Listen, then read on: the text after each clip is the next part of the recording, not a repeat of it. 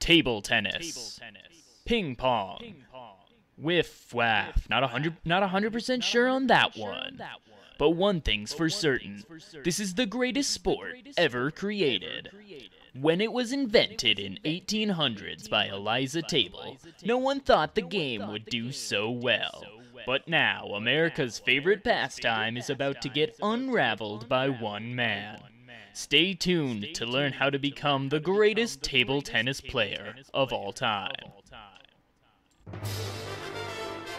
Hello everybody, this is here for about Sports Boy. I'm the boy and this is sport. This is the most exciting episode I've ever created of the series. So if you like it, if you're excited for Sports Boy, why don't you like the video and also subscribe to the channel to see more Sports Boy content. I'm so excited to get into this, so let's just get into it.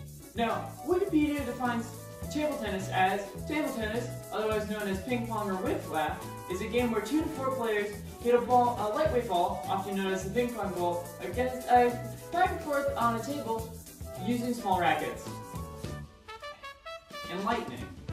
Now before we get into the meat of this video, I want to talk to you about Mike's Big Bikes.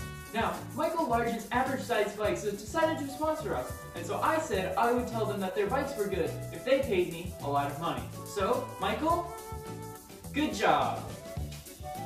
Use my promo code for 10% off in the uh, link in the description, and remember, everyone likes Mike's Big Bites. Well, can't hold out any longer. It's time for the big secret that I've been promising all of you. Thank you for sticking to this video, and if you're this far, you might as well subscribe at this point. Also, hit the like and leave a comment, tell me how I'm doing, and uh, maybe predict what you think the big uh, table tennis secret is going to be.